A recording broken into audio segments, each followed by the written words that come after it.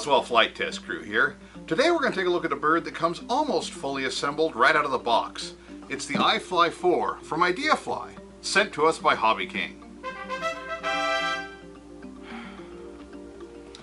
All it should take to get this bird in the air is a receiver and a battery. Let's see if it's really that easy. Okay, so here we are, the Ideafly. Let's take a peek. So what do we have here? We have a... Ooh, look at that. There we go. Well, that's interesting. Okay. that part comes off. Oh, I see. Those are just little pop releases. There we go. I haven't read the manual yet, so I'm just looking at this, playing with this, and it looks pretty straightforward. Just loosening these little bolts here, and the limbs move. So you can store it or secure it for flight.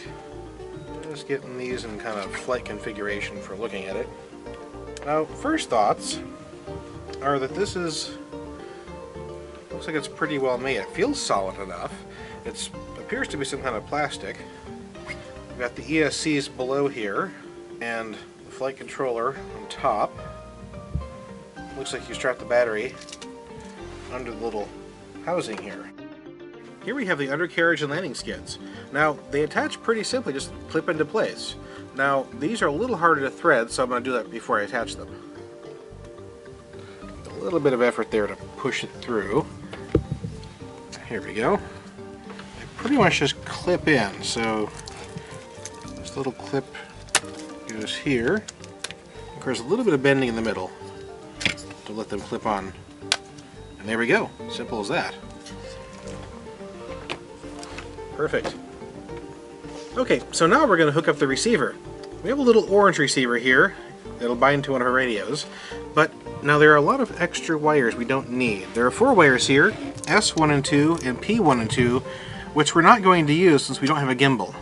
So let's start by yanking those out because they're not required, just to save the confusion. So now, I get to hook in the receiver. Now everything's labeled on top here, and on the receiver, so it's really easy to kind of figure out where things go.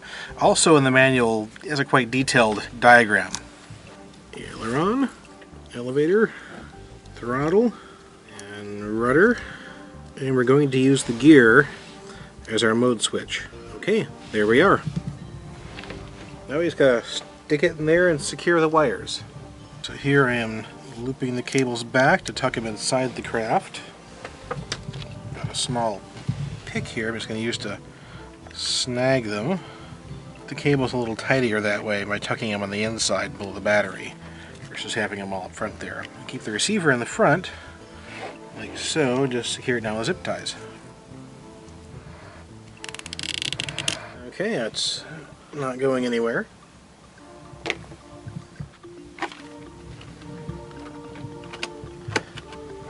Well, that is cool. Only only a few minutes between out of the box to fully assembled. Now onto the computer. So in the bottom of the box, we found this little DVD here. Now, it doesn't have a printed manual, so you assume everything's on this little disc that you need. Okay, so here's the iFly DVD. And here we have the configuration tools, copy of .NET in case you don't have that, couple pictures, firmware, oh, manual. So I click on the user manual, that pops up the manual, very nice. Just scroll through that. And also on the disk was this little MP4 file, which is a small movie, kind of about uh, how to configure it. Actually quite nice ahead in there. So the nice thing is your manual is both written and video on the disk. So now we're going to use the computer with the iFly software to configure the transmitter. So we have a DX6i here. Now one thing that did not come in the box, so we just didn't get one as far as I know, was a USB A to mini B cable. So you can get these pretty much in any store or some cell phones have them. That's all you need. Just plugs in the side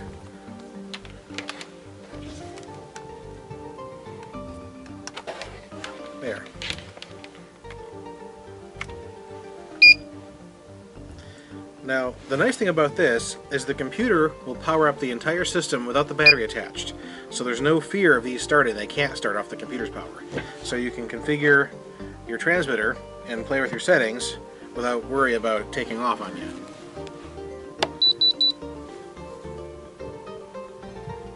Now let's take a look at the iFly software and configure our radio.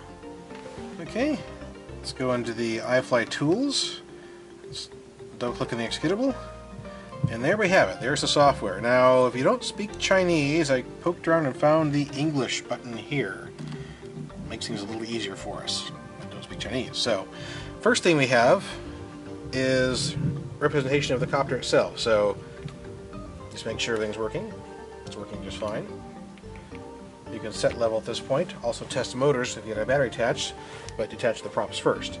Uh, for our purposes, we're going to joystick.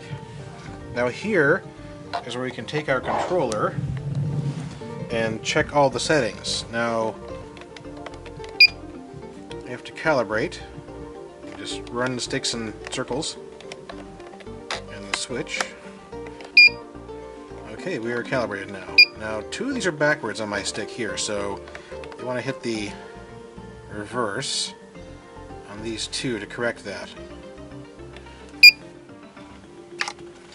Okay, now we're ready field testing. Alright, we're getting ready to go flying, but before we do, I just wanted to take a quick minute to point out that the iFly 4 comes with an XT60 connector, which if you got a battery like this one from Hobby King, then you're ready to go right out of the box. You don't even need to solder anything up.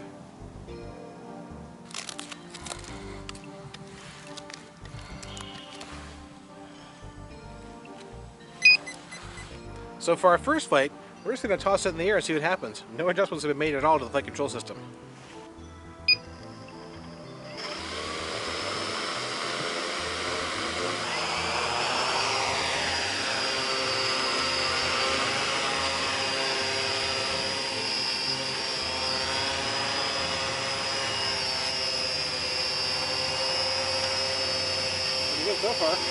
Well, my first thoughts are this is uh, it's surprisingly smooth actually.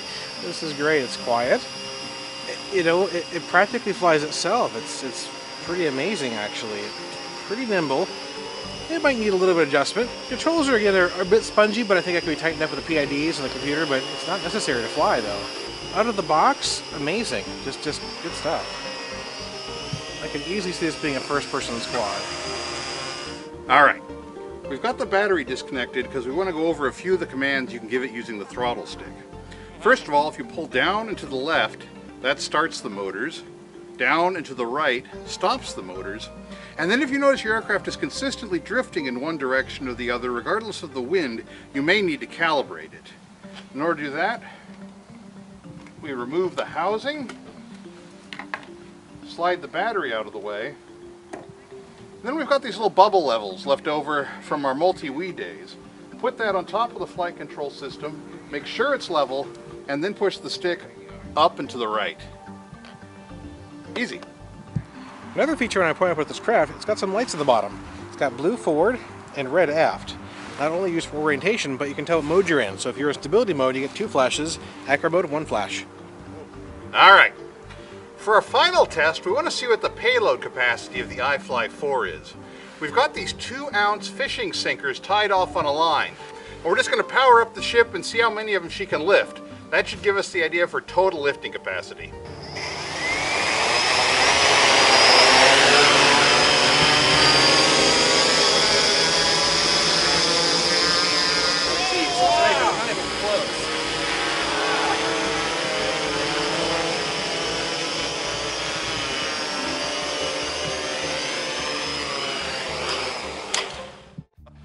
Wow. Well, to tell you the truth, we were caught off guard a little bit by that last test. That was all the weight we brought with us, a full pound, over 400 grams of lead, and this thing lifted into the air at only about half throttle. Well, and the best part is, it's available, really inexpensive, from Hobby King. Well, thanks for watching. See you next time. All right. Fly safe.